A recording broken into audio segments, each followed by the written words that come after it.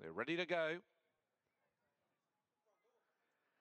Racing, starter caught them in a pretty even line. Grand Symphony only fairly out. Here's Alwyn drop back after the start, and Galway and uh, Vigier first two to get going.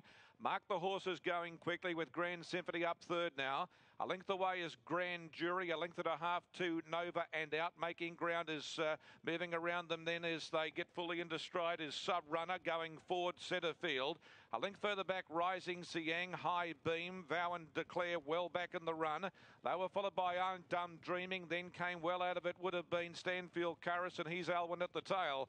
Front runner is Vigier by three quarters on Galway, sitting up a comfortable second. Two links to Grand Symphony running third. Back on the fence, Mark the Horse. A length and a half, Grand Jury, Nova and out Sub Runner.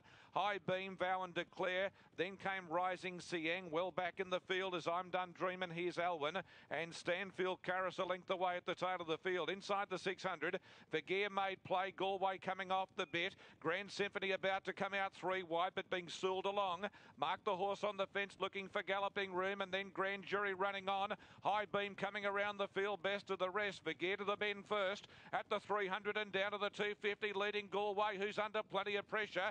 Grand Symphony dropped out. Mark the horse running on with Grand Jury and High Beam, and I'm done dreaming wide out. And Sub Runner's about to get a gap in the centre. Vigier, the front runner. Mark the horse grabbed it. Sub Runner, and here's I'm done dreaming. I'm done dreaming with a big run with High Beam. I'm done dreaming takes the lead, and I'm done dreaming from High Beam.